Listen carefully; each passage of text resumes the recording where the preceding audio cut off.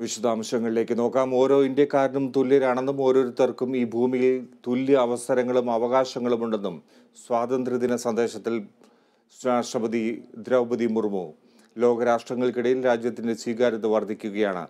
ആഗോളതലത്തിൽ ഇന്ത്യ കുതിക്കുകയാണെന്നും രാഷ്ട്രപതി പറഞ്ഞു.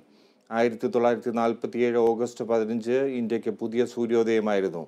സ്വാതന്ത്ര്യത്തിന് പോരാടി എല്ലാവരെയും ഓർക്കുകയാണെന്നും രാജ്യത്തിനായി ജീവത്യാഗം ചെയ്തവരെയും ഓർക്കുകയാണെന്നും രാഷ്ട്രപതി പറഞ്ഞു സ്ത്രീകളുടെ മുന്നേറ്റമാണ് രാജ്യത്ത് കാണുന്നത് സ്ത്രീ ശാക്തീകരണമാണ് രാജ്യത്തിന് ആവശ്യം ഇന്ത്യക്ക് അന്താരാഷ്ട്ര തലത്തിൽ ലഭിക്കുന്ന സ്വീകാര്യത വലുതാണെന്നും രാഷ്ട്രപതി പറഞ്ഞു 15 अगस्त 1947 के दिन देश ने एक नया सपेरा देखा उस दिन हमने विदेशी शासन से तो आज़ादी हासिल की है हमने अपनी नियति का निर्माण करने की स्वतंत्रता भी प्राप्त की। मैं सभी देशवासियों से आग्रह करती हूँ कि वे महिला सशक्तिकरण को प्राथमिकता दें।